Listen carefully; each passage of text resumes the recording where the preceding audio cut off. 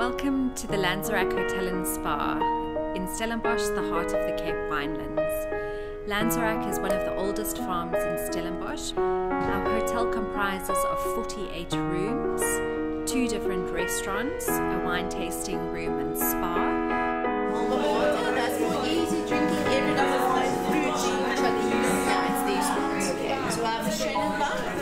And then a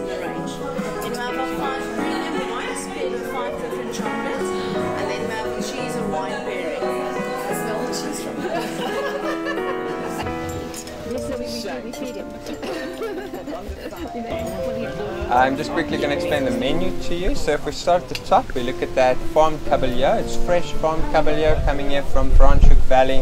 Um, just a little bit of sous vide there. It's marinated in some lemon juice with some dough. And then there's pork belly that's braised for about four hours, rolled.